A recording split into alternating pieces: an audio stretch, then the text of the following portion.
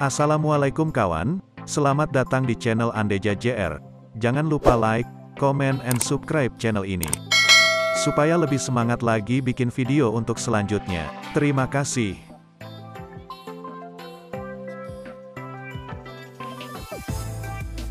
Ikan Oscar dengan nama latin Astronotus ocellatus adalah salah satu jenis ikan hias air tawar yang banyak dipelihara di akuarium. Meski populer di Indonesia, ternyata ikan ini berasal dari kawasan sungai Amazon, Brazil, Amerika Selatan.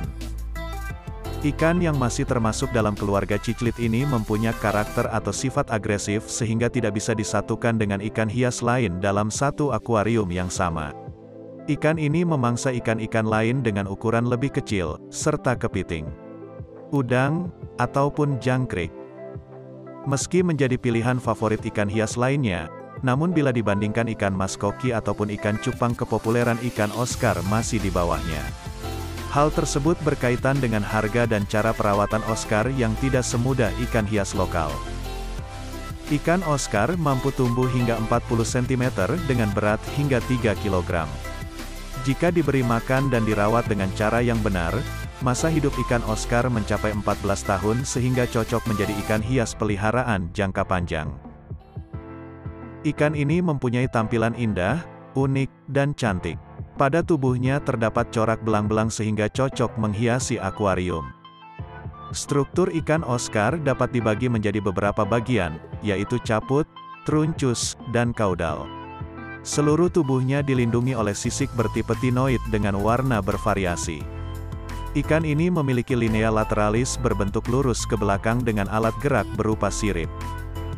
Sirip atau pina ikan Oscar terletak di beberapa bagian, meliputi bagian dorsal, pektoral, ventral, anal, hingga kaudal.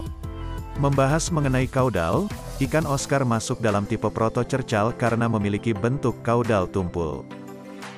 Ikan ini bernapas menggunakan insang seperti sebagian besar jenis ikan lain.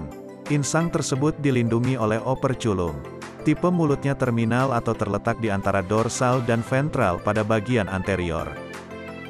Ikan Oscar memiliki anus sebagai alat pengeluaran zat-zat sisa dan yang tidak diperlukan tubuh. Banyak orang mengatakan bahwa ikan Oscar mempunyai bentuk dan warna tubuh yang sangat menarik. Sebagian besar jenisnya berwarna kehitaman dengan motif berwarna kuning kemerahan.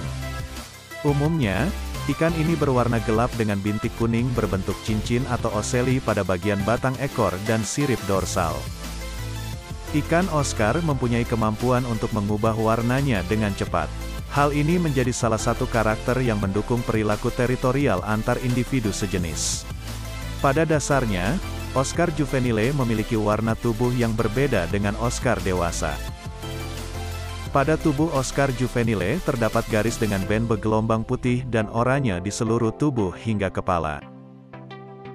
Ikan Oscar hidup di sungai yang dengan air bersifat masam, meski begitu ikan ini sangat toleran terhadap segala jenis kondisi air.